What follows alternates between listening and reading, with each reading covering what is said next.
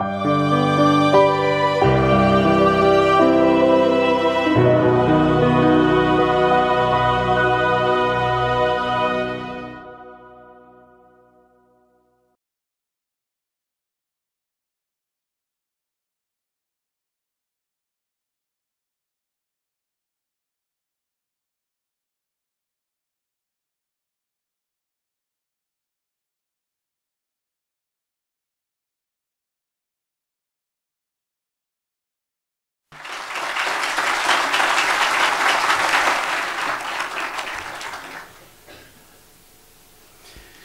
come si dice era l'anno del Signore 1970 70 se, no 68 68 69 io Roma già con il cervello su Parigi Londra eh, Zurigo eh, ero alla ricerca inesausta dove investire in modo totale, in pace, sì, l'impetuosità della mia intelligenza. Avevo già una buona base, quello che costituiva diciamo, la serenità di una vocazione sacerdotale nell'ambito della Chiesa Cattolica e prima anche nell'ambito monastico conventuale. Ma non avevo, non avevo la pace interiore dello scibile. E sempre con profondo amore verso la grande Chiesa dei secoli, avevo bisogno di qualcosa di diverso, e, e mi iscrissi alla facoltà di filosofia del Pontificio Ateneo Tommaso d'Aquino perché realmente era l'università, la facoltà eccellente, la prima al mondo dove era garantita la migliore formazione in filosofia classica e anche contemporanea. Realmente ho incontrato dei grandi maestri eh, che mi hanno introdotto nello scibile, nella didattica di tutto ciò che è il segreto razionale per capire grandi autori, da prima di Aristotele sino ai nostri tempi. E poi um, dovevo fare la, la tesi dottorale il più adatto per il mio temperamento estroverso, per il mio temperamento eh, innovativo, l'unico era lui, il padre Abelardo Lobato, che a quell'epoca era decano della facoltà di filosofia nell'Ateneo Pontificio Angelicum, che poi in quegli anni, attraverso la sua personalità del padre Lobato, L'Angelicum ebbe il riconoscimento di università, in quanto aveva più facoltà. Secondo me è stato più lui a capire me e non io lui. Ho sempre voluto il massimo, ma non, non mi sono mai sentito un perfetto, un arrivato, una persona che potesse interessare ad altri. Forse lui non sarà d'accordo, padre Lobato, ma io ritengo che lui sia stato veramente una presenza provvidenziale come si dice, l'uomo al momento giusto che dà il corso giusto a un altro che deve, che deve fare altre cose. E lui mi ha sempre, cioè mi ha sempre, stava sempre un punto più avanti di me. Io ero molto bravo in, in fatto di psicologia, non c'era nessuno, ma non era facile a quei tempi trovare la psicologia. In Italia non esisteva non esisteva proprio e proprio in quegli anni la, la facoltà di psicologia nata presso il Magistero della Sapienza di Roma fu formata, fu formata un po' dagli scarti dei grandi maestri, dei grandi filosofi della cultura classico, diciamo in, in senso generale cattolica, ma più che altro formazione classica, atomista e preparazione scientifica in campo. Perché dovete capire che nell'interno della compagine cattolica c'è il dogma eh, sul quale eh, maestro assoluto è il Papa, però all'interno della Chiesa Cattolica, soprattutto una volta, c'erano eh, degli atenei, c'erano delle facoltà di discussione più avanzata, per cui per conoscere il vero pensiero, la, mh, quella che io reputo ancora oggi la più grande cultura esistente sul nostro pianeta era quella cattolica, almeno quella di una volta, oggi un po' meno, perché i giovani non studiano, non sono preparati come i grandi dottori del passato. Quindi all'interno di questi atenei dei diversi ordini, gesuiti, dominicani, eccetera, era una continua attività di studio, di analisi, di ricerca e, fatta dentro uno spirito, uno spirito eh, capace, quindi un, raccoglimento, uno stile di vita, un, una capacità anche di venerazione interiore, sacrale, insomma tante cose. E, e dentro questi organismi c'era la, la, punta del sapere, poi uno poteva scegliere una corrente o scotista, o tomista o bellarminiana, eccetera, eccetera, eccetera, eccetera. Io avevo delle idee e lui me le lasciava fare, lui padre Lobato. Allora prima psicologia, e alla fine lui mi lasciò insegnare il primo corso di ontopsicologia e uscirono le prime dispense, ontopsicologia dell'uomo, e erano le lezioni che davo all'Angelicum.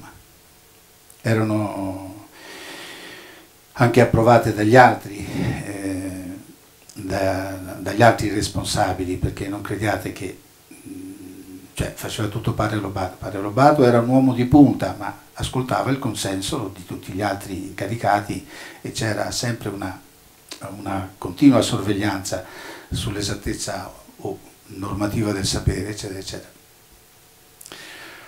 Poi eh, Padre Lobato non sapeva che io avevo aperto un'attività clinica mh, mm,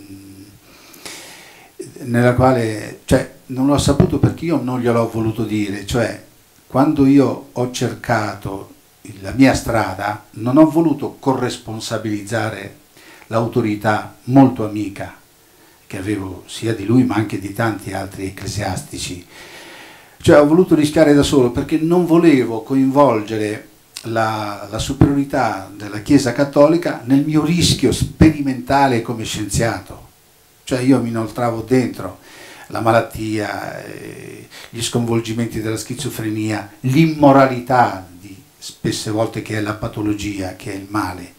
E quindi volevo andare da solo, se andava bene, evviva, se andava male, io soltanto avevo sbagliato, non aveva sbagliato l'istituzione. Per cui quando io insegnavo all'Angelicum ero un corretto collaboratore, sì, di ampiezza, di ricerca, di novità, ma sempre nell'ambito del dogma maestro generale.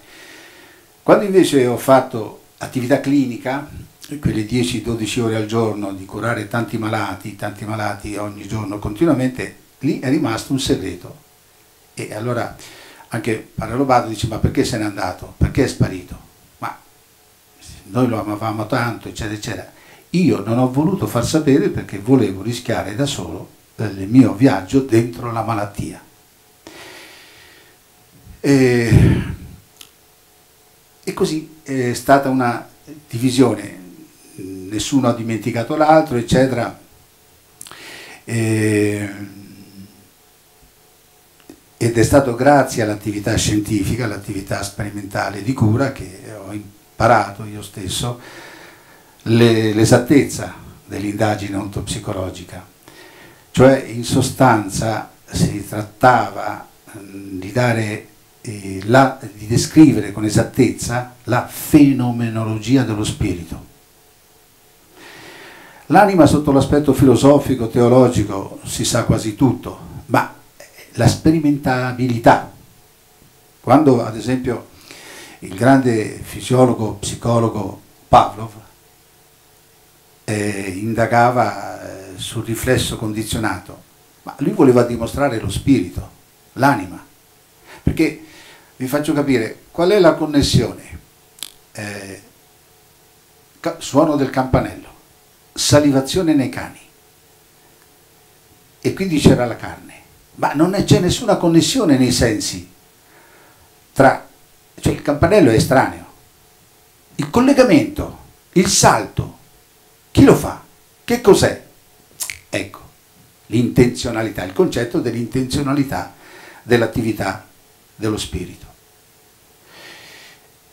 Era la ricerca sperimentale di portare la responsabilità degli scienziati all'esistenza dello spirito, dell'anima.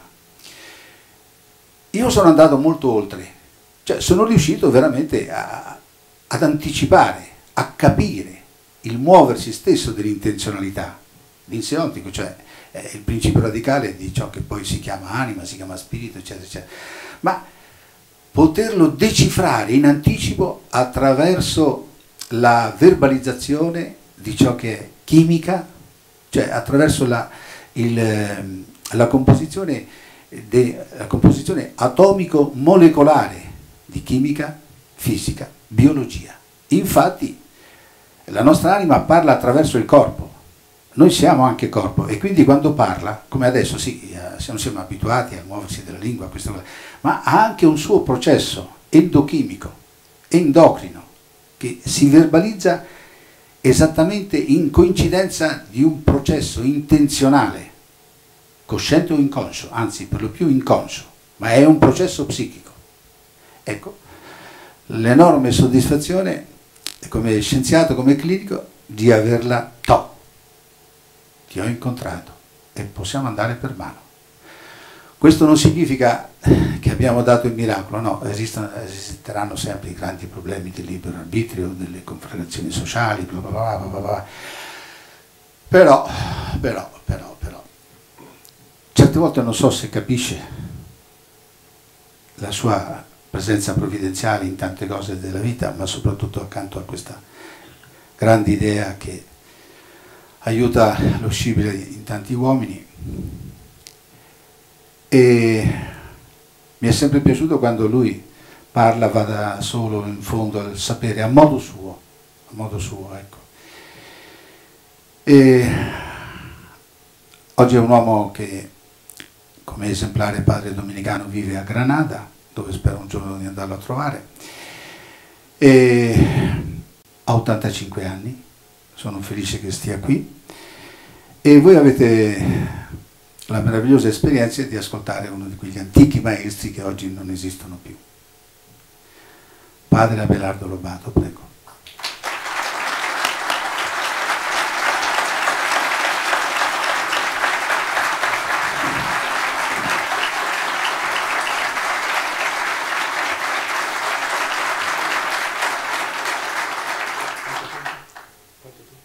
quello che vuole, poi casomai glielo dirò io, lei vada. Nella vita di Santa Teresa d'Avila un episodio, una monaca che a Siviglia si fa un ritratto. E c'era un fratello cooperatore il quale ha fatto di pittore e alla fine le dice ma fra Giovanni dopo tanto tempo hai fatto brutta e cieca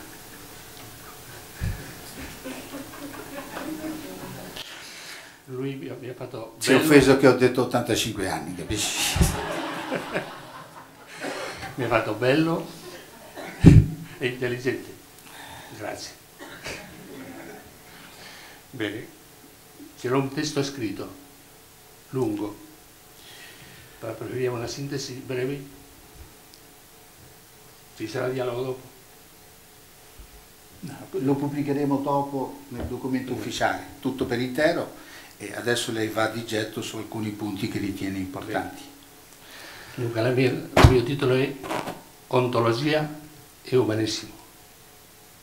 Ontologia perché veramente è, sembra la filosofia o è metafisica o non è filosofia.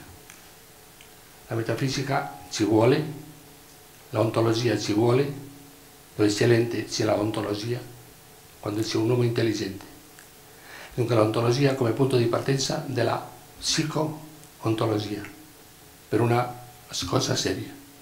Poi umanissimo, perché la ontologia abbraccia tutto l'essere risponde a questa domanda che diceva Aristotele nell'estimo della metafisica, ciò che gli antichi, ciò che adesso, ciò che sempre è cercato e dubitato è cosa è l'ente, cosa è. Adesso lo spostiamo, cosa è l'uomo? Cosa è l'uomo? La grande domanda che la faceva di un modo quasi esasperato. Il filosofo tedesco Kant, quando pone il centro del pensiero, questo, was ist der Mensch? Cosa è l'uomo? Cosa è l'uomo? La ontopsicologia vuole dare una risposta. Cosa è l'uomo? Ricordo che una volta io tornavo dalle mie, mie scorribande per l'America, dove passavo due mesi ogni anno dell'università da Cile, Argentina fino a Canada, arrivo a Roma. E lui mi aspettava e mi porta alla via accanto alla stazione di San Paolo dove c'è il treno che partiva per la spiaggia, era lui che mi aspettava e mi porta a uno studio ontopsicologia e ho visto la poltrona.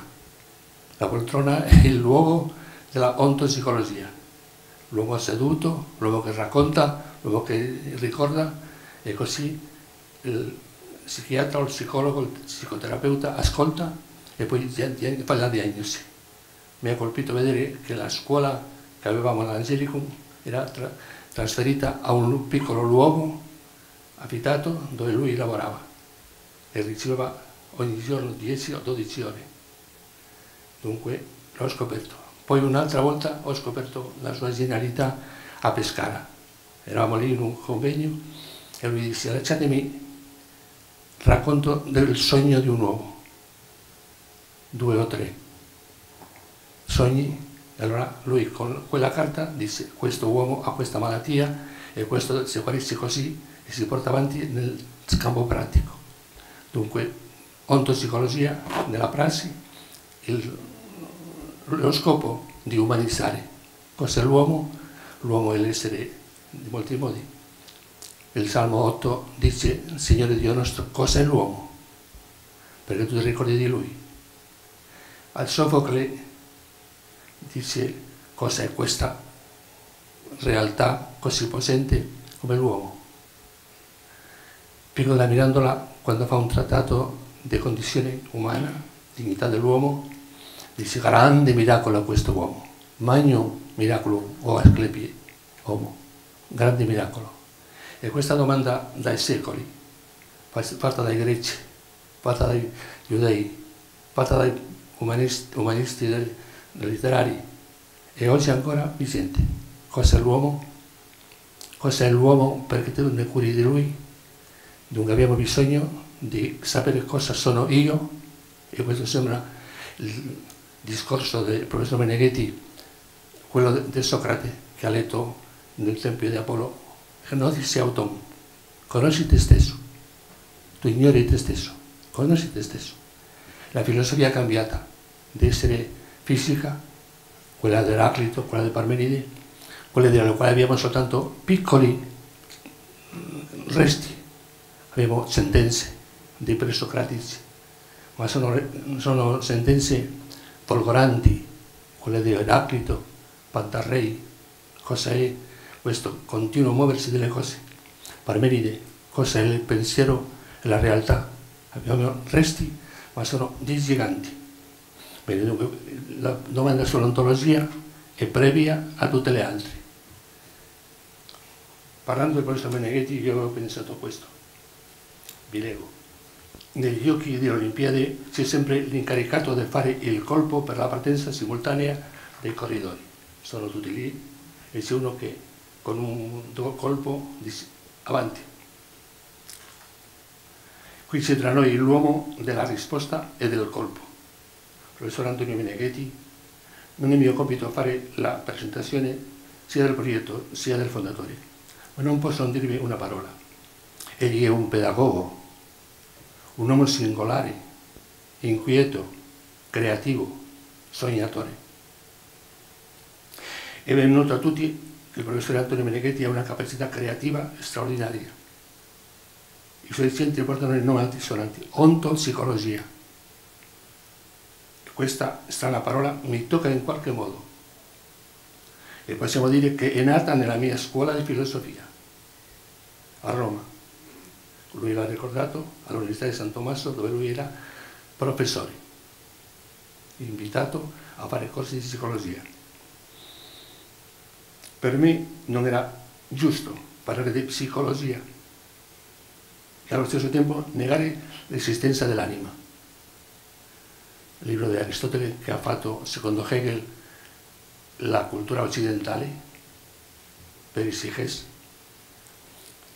perdeva il fondamento. Dunque c'è psicologia senza anima, teodicea senza Dio.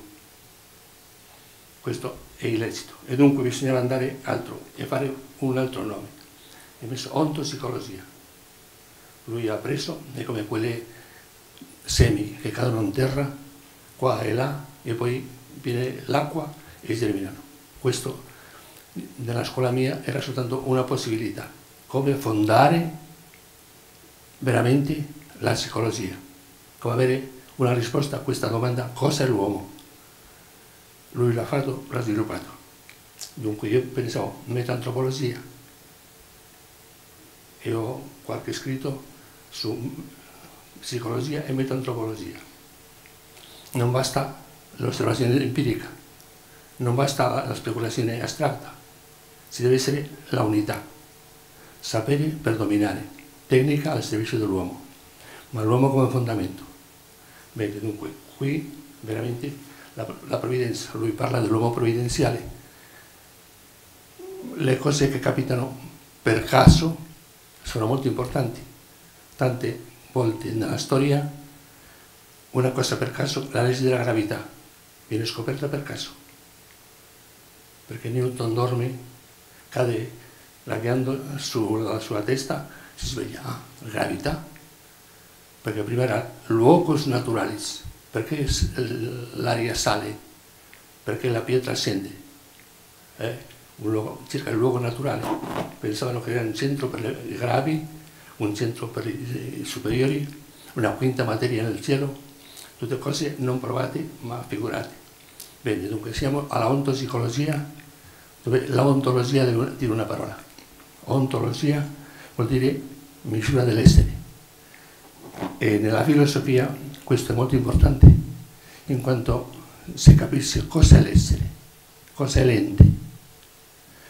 Sempre disputato, sempre discusso, ma questo rimane così. L'ente è una partecipazione finita di un atto. Partecipazione vuol dire non il tutto. L'uomo, è un essere finito per tutti i quattro costati, è, è finito. Ontopsicologia dunque è andare lì all'ente fondato veramente nella sua capacità di conoscenza, capax, intellettuale, l'intelligenza, il nus, l'amore, l'amore che porta l'uomo e questo veramente si porta a una grande condizione, che l'uomo è un essere, essendo ontologia, non finito, L'uomo è un cammino, è un cammino che si fa non da solo, ma collaborando con Lui che lo ha posto nel mondo.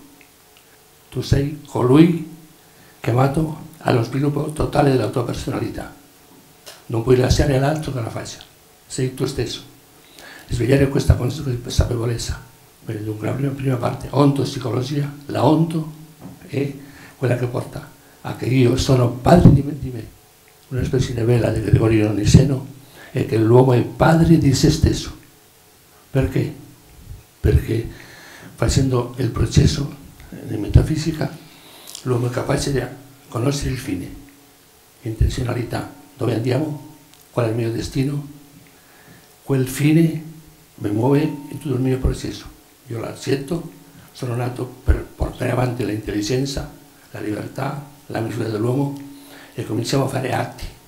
Un uomo capace di conoscere, conoscere cosa? La verità. Ogni ricerca della verità ci porta alla verità completa. ogni ricerca del bene, in qualsiasi porta, si porta al bene assoluto. E l'uomo non sarà mai soddisfatto. Se insoddisfatto, dorme, muore. Insoddisfatto, creatori, innovatori, capaci di formare e formare gli altri. Bene, dunque, questa parte tra ontopsicologia e ontologia siamo così portati oggi a avere questa dimensione totale dell'uomo e fondare un umanesimo integrale, completo, personale. La ontopsicologia deve lavorare a questo e lavora questo dove l'uomo matura dall'interno.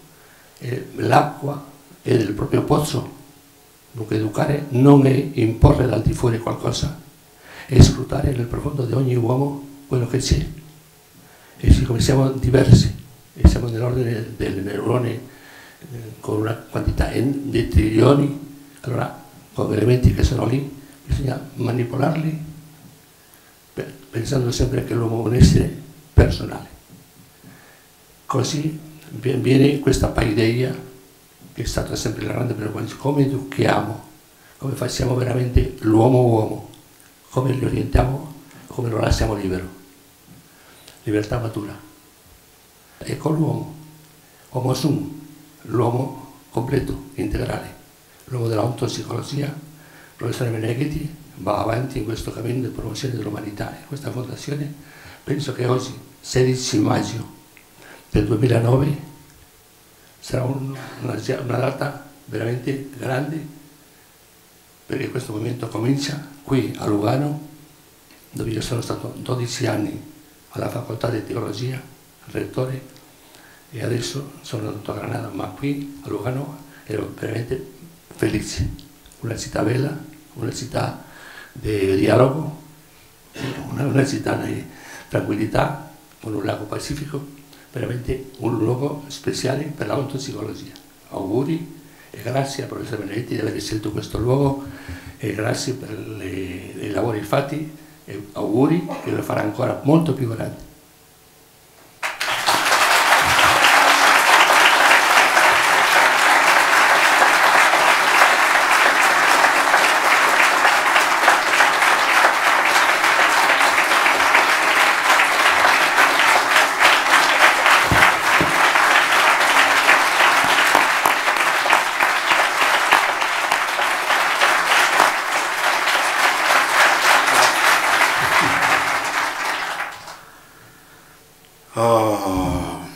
Due o tre cose prima. Uh, no, fortunatamente che ha scritto perché il modo come ha parlato ha cercato di essere buono, andare incontro con tutti, ma ogni tanto ha formalizzato delle frasi che sono una sintesi di sapere totale. L'unica cosa che mi è dispiaciuta nel suo discorso, ce n'è una sola, che alla finale, invece di concludere la frase oggi 16 maggio, eh, si è fermato con la, con la leggerezza di Lugano. Noi siamo un punto di storia nell'umanità, in senso scientifico, laico, totale. Proprio come nuda, nuda, nuda la conoscenza di ciò che si chiama vero. Bene, con questo voglio dare un'ondata, è inutile parlare qualche momento di commozione che pare Lobato, ha suscitato sì, in me, ma anche in lui. Non so di chi reggeva di più di cuore certe, certe frasi. Va bene, va bene. Ed è bello continuare così. Sì, la vita è meravigliosa. Detto questo, detto questo, facendo la premessa, sfruttando, sfruttando alcune frasi che anche Padre Lobato ha detto, sostanzialmente l'ontopsicologia lui l'ha definita perfetta, è la capacità di giungere all'ente che è, è la capacità dell'uomo di giungere all'ente che egli stesso è. Guardate, più semplice di così è impossibile. Questa è ontopsicologia. Per fare qualunque cosa. È essenziale la conoscenza. una conoscenza che non si lasci prevalere dalla tecnica. Perché il linguaggio, che è la trasduzione, è la trasmissione di tante culture, quindi il canale privilegiato degli stereotipi e non sempre o raramente della verità, cioè come le cose stanno. Quindi è una trasmissione memetica, non è una trasmissione ontica. E allora il monitor di deflessione nasce da una super tecnica del linguaggio mentale. Linguaggio mentale che si riflette in ciò che noi chiamiamo coscienza. Quindi sull'arte, sulla pedagogia scientifica che l'ontopsicologia fa, è la metanoia, cambiare coscienza. La natura nostra è perfetta, è da imparare, è da agire in conformità a come essa è, perché è fatta in, modo ineccepibile. Ecco, noi abbiamo la coscienza errata e tutto l'errore sta nella coscienza, cioè il modo come l'uomo riflette, come l'uomo razionalizza percezioni che sono diventate memorie, sono diventati moduli fissi, eh, pezzi di tecnica e perdiamo l'immediatezza dell'ente che è, dell'esistente come si pone qui adesso nel suo variare quotidiano. Quindi la nostra coscienza riflette sempre memorie che alla fine perdono l'originale. L'originale di chi? L'originale mio, io, io che sono qui. Uso una coscienza estranea, cioè la conoscenza protesi di non una conoscenza, una, una coscienza protesi, cioè una protesi che prevale sulla verità, sulla realtà sull'originale. Quindi questa, questa coscienza non è funzionale, non è funzionale alla natura che sono. E infatti la cura avviene cambiando la coscienza in modo tale che l'io logico storico abbia coincidenza con l'ente che è, l'ente io qui e adesso. E così ognuno nell'ente che è.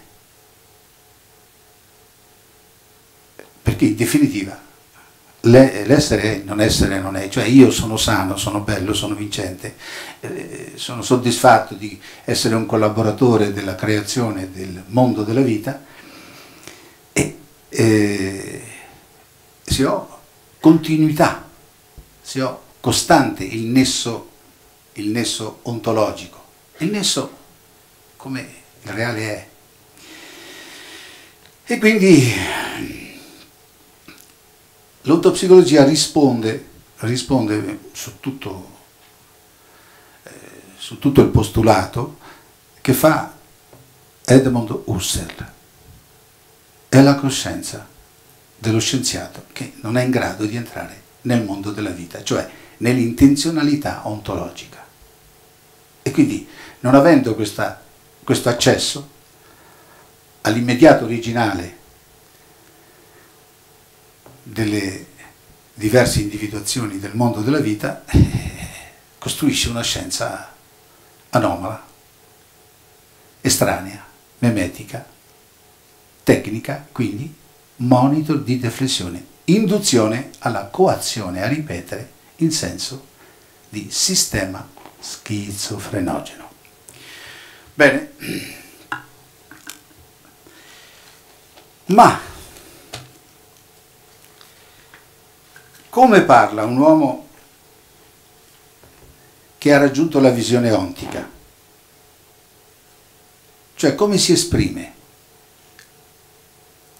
Un uomo che ha raggiunto la visione ottica. Visione ottica cosa significa? Che documenta una conoscenza in unità, in sintonia di riflesso, riflesso, cioè sia il riflesso, sia l'immagine e l'oggetto e il vivente e la causa sono la stessa cosa, sono cioè immagine e oggetto sono reversibili. Formula e azione sono reversibili. Questa è la documentazione, se siamo o non siamo nella verità, di qualunque cosa. Quindi questo uomo che conosce, si conosce come ente che è, agisce in conformità nell'ente che è e con quell'essere con cui coesiste, con quell'essere che è principio e fine costante di questo breve spazio, di questo breve tempo. Avete capito com'è bello quando il professor Lobato ha detto lo spazio, è, è quello, l'individuazione, è quello che dà l'irripetibilità, l'unicità di come sono io non c'è nessuno, lo spazio. Ecco, quelli che sembravano i limiti sono invece i moventi della ricchezza di noi umani. Oh. Bene, come parla quest'uomo che raggiunge la visione ottica, cioè ha fatto la metanoia, eh, ha cambiato la coscienza e, e, si è adattato con totale, totale umiltà, che umiltà, con totale liberazione. Cioè ha smesso di guardarsi come è stato impostato e entra nel vivo come l'ente respira. Perché questo programma che tutta l'ontopsicologia attraverso le sue forme, le sue istituzioni, l'ontopsicologia tende alla, a immedesimarsi nelle istituzioni sociali, cioè nel metodo democratico come le democrazie si formano. Perché è il problema della conoscenza come deve sapersi incarnare, immedesimare in ciò che vuole eh, alimentare. Quindi non è una pretesa, ma eh, umani di qua e umani di là, eh, essendo la stessa intenzionalità dell'essere, ci deve essere questa continua interazione. Quindi nel completo adattamento dello, dello schema sociale storico, sempre rinverginare, ripristinare l'originale in tutte le forme, in tutte le possibilità. E questo è bello, è piacevole, non è un sacrificio, è, è una autoliberazione che poi consente una festa con, alt- con tanti altri, per adesso questo. Gli uomini che nascono per essere in frontiera, cioè naturali figli della vita, e loro si daranno sempre da fare, si daranno sempre da fare, perché la vita sempre ama se stessa. Bene, un uomo che raggiunge questa visione ontica come parla? È vero, In principio era il Logos. Io esisto, sono. Nell'attimo che esisto io sono. E quando sono, sono coeterno a quel principio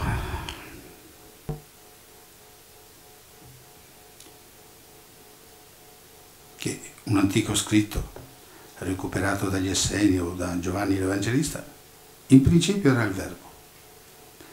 Cioè la coscienza, il logos, coscienza, ragione, ma è la coscienza, l'immagine. La coscienza era, è nell'identico principio di ciò che l'essere è. Altri lo chiamano Dio. Quindi la mia coscienza ontica convive nell'essere che è, anche per un... L'attimo non esiste nell'essere, perché l'essere senza parti è senza tempo, ma l'immagine che io sono l'immagine che si materializza, comunque sia, comunque sia, io sono. Perché esisto, perché mi percepisco. E comunque quanto mi percepisco, comunque io sono. Faccio parte dell'essere. E in questo attimo io logos, io parola, io immagine, sono in quell'identico principio, totale, universale, che ha fatto, che ha creato. Giustamente io come immagine trasformo, però anche se trasformatore, sono con il creatore. Esattamente, e qui ricordo il famoso articolo, la lettera Chomsky, lettera Chomsky dove la mia mente, la mia, eh, il mio intelletto nella sua purezza trascendentale, quindi un intelletto che è soltanto attualità, attualità con specifiche identità dovuta alle individuazioni, eccetera, eccetera dove l'attualità è prima di ogni, prima di ogni fenomenologia in senso husserliano.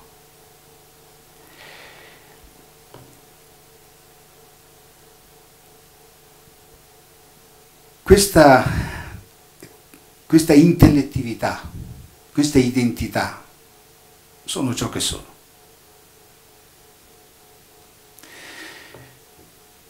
Così, la cosiddetta frase che Mosè rimanda, ma ognuno di noi, chi sei? Sono, sono ciò che è, sono quello che sono. Capisci quello che sei? Ah, questo è un altro problema. Ma ognuno di noi può rispondere, sono quello che sono. Non è questa frase al di là assurda, impossibile. È l'immediatezza del dato. Ecco, l'eicità,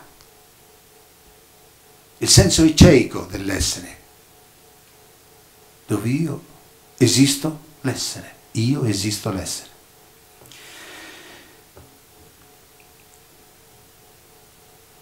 Io coesisto, io piccolo uomo, coesisto con l'insieme di quanto esiste, ma anche consostanzialmente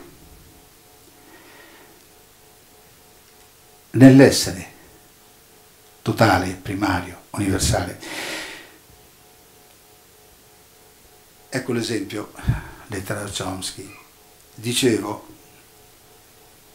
come l'attualità dell'intelletto genera le immagini, che poi diventano gesti, diventano parole, diventano discorso, diventano sostantivi, diventano aggettivi, diventano struttura, grammatica, sintassi, infiniti modi della gestualità del mio corpo, che il mio corpo è già la prima parola di ciò che io sono come inseontico o anima.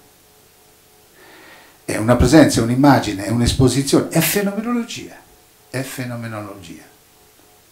Ma io trascendo, io convivo, io sono al di là della mia fenomenologia. Il mio intelletto coglie tranquillamente il non esistere del mio corpo, il non esistere di me individuo. Lo coglie, lo sa, ma contemporaneamente lo certifica. Cioè l'atto quando l'essere, rimanendo trascendente, pone la creaturalità, la creaturalità, pone le cose infinite, pone le sue parole in un suo discorso ogni parola, ogni parola ha una sua intenzionalità che richiama concretezza di altro modo di essere. In me l'immagine cambia l'essere. Secondo l'immagine che decido, che scelgo, modula il mio esistere. Povero, diminuito, infamante, glorioso. Cioè, se la parola più si configura, più coincide con l'essere, io aumento, meno coincide, più inizia il processo dell'autoannullamento per incapacità della parola dell'immagine, del logos, della ragione di avere interazione, contatto con l'essere che è.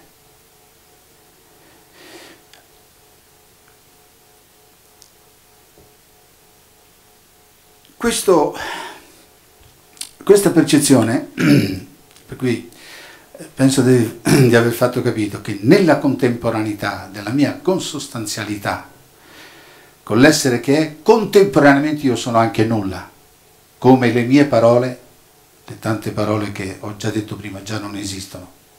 Io le genero, io smetto di generarle, io le proietto, io smetto. Cioè, la parola è relativa ma l'atto perenne è l'intelletto, nel nostro configurato storico mondano. La stessa allegoria, la stessa analogia, noi la possiamo mettere nella totalità integrale. Uomo, essere, storia. Quindi io percepisco che sono sin dal principio. E solo con questo principio non solo io sono, io divengo, io esisto, io faccio, io cambio, io condiziono. E questo è entusiasmante, è pianificante, è realizzante, in quanto il mio esistere, la mia azione, la mia esistenza è, si coniuga, si coniuga si urge insieme con l'essere. Per cui nella misura che io formalizzo il logos che sono, lo formalizzo in approssimazione della occasione in rapporto alla intenzionalità, cioè intenzionalità e occasione, il tempo, lo spazio fanno la storia, eh, per cui quando sono puer, prendo il ciuccio in bocca. Ma eh, quando sono adolescence eh, posso suonare un meraviglioso violino, posso cantare, posso essere un, un Cristodomo, che significa bocca d'oro perché parla cose elevate. C'era un santo che si chiamava San Giovanni Crisostomo. E nella misura che io so evolvere una tecnica funzionale all'intenzionalità ontica che io sono qui adesso, io realizzo la dignità, l'autorevolezza di esistere, eh, la soddisfazione davanti all'essere, tu sei, ma anche se infinitamente per te, anch'io sono la gloria di collaborazione, la, di amici, di stare insieme. L'uomo nel suo Dio. Che trionfo, che amore, che... C'è dentro questo, questa regalità, questo orgoglio.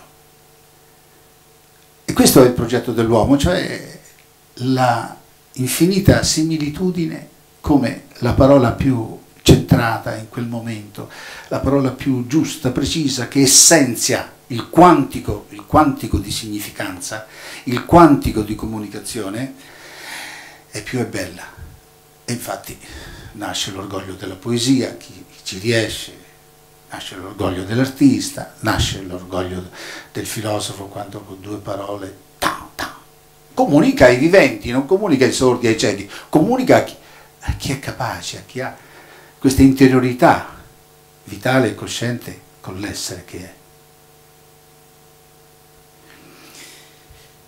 E allora tutto il prologo giovanneo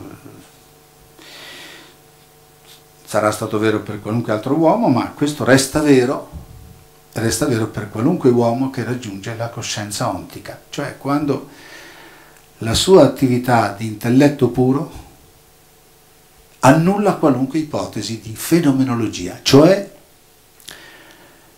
eh, la mente è intima chiarissima, univoca, anch'essa senza parti, univoca totale a se stessa senza il bisogno delle parti, senza il bisogno delle, eh, dei processi, eh, senza il bisogno dei, eh, dei rapporti, dei, diverse logiche, dunque così, così. No, lo sa dal principio per il principio, lo sa comunque in modo perfetto prima. L'intuizione autoilluminante.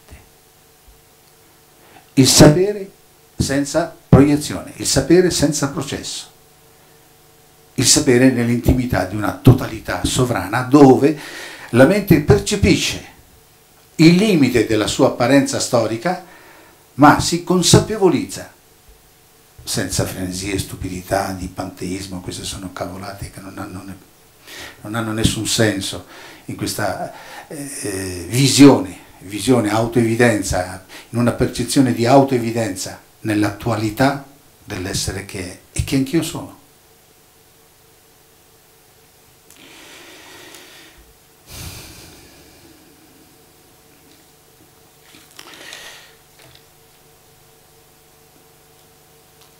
Quindi o esiste questa università del muoversi dell'intelletto, del muoversi dell'inseontico, cioè l'inseontico resta l'io a priori, l'io a priori costante, di qualunque fenomenologia della coscienza, quindi eh, eh, l'inseontico storicamente ha l'universo, è costantemente universo all'essere che è, universo rivolto all'unico, all'uno, o è questo o se no è un diverso. Diverso, cioè diverso, dix, in greco è cattivo, è male. Eh, cioè, è rivoltato male, ha una vettorialità disfattoria, autodistruttiva. Quindi o siamo universi in questo inseontico esistenziale e allora possiamo creare costantemente la semplicità di ciò che è vero. E il vero non c'è beatitudine più grande, più grande, più grande, assoluto. Anche quando facevo psicoterapia, insegnavo la verità di, del cliente, la sua verità insegnavo, non la mia. Lui aveva bisogno di quello, di quello, di quell'altro per arrivare a coscientizzarsi in gioia, in, in sanità, la conformità la conformità alla sua identità di natura, nient'altro. Quindi la ricchezza, il bene immenso che siamo tanti, perché ognuno ha, un suo modo. Il violino è meraviglioso, ma non è il pianoforte. E ognuno ha un modo di cantare le proiezioni dell'essere infinito che è una meraviglia, una meraviglia continua, uno stupore continuo. Eh,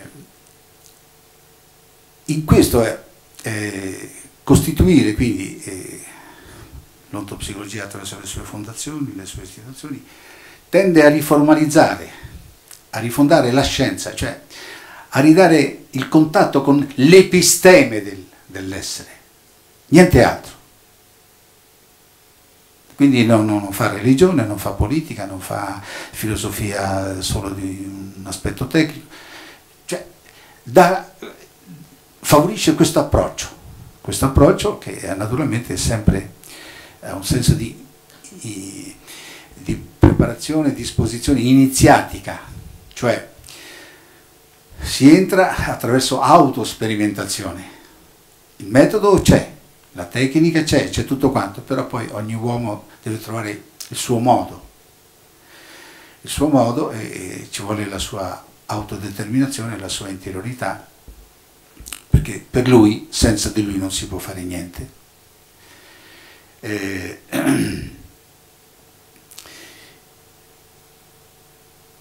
la creazione quindi di diversi di parole.